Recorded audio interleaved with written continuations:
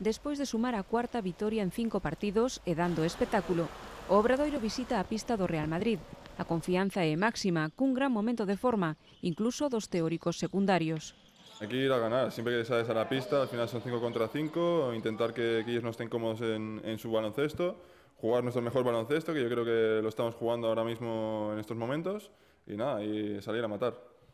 O Real Madrid ten un positivo por COVID, o francés Fabien Coser, circunstancia que motivou a suspensión do partido que debía xogar este domingo en Bilbao. O encontro co Obradoiro xa fora posposto no seu día por outro caso de coronavirus nun rival dos madrileños.